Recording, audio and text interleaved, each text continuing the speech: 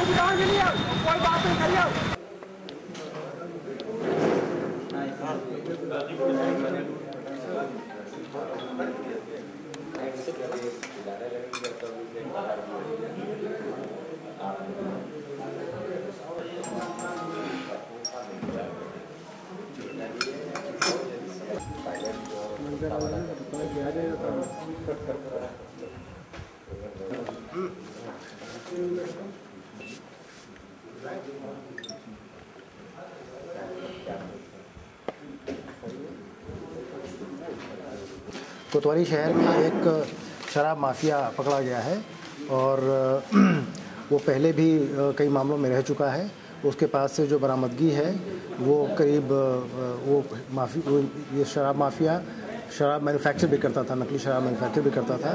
उसके पास एक wagon are car manufacturing के बहुत सारे उपकरण स्टिकर्स ढक्कन पौवे खाली पौवे ये सब बरामद हुए हैं। और इसके अलावा बिक्री से अवैध शराब की बिक्री से जो करीब बासठ हज़ार दो सौ रुपये ये भी उसके पास से बरामद हुए हैं। उसके ऊपर पूर्व में भी कई मुकदमे हैं और उस व्यक्ति को गिरफ़्तार करके मुकदमा कायम करके आज जेल भेजा जाएगा ये कहाँ से बरामद की है? कार से बरामद की है? किसी घर से बरामद की है? ये जो शराबी है, ये पैसे तो इसके पास से बरामद हुए हैं।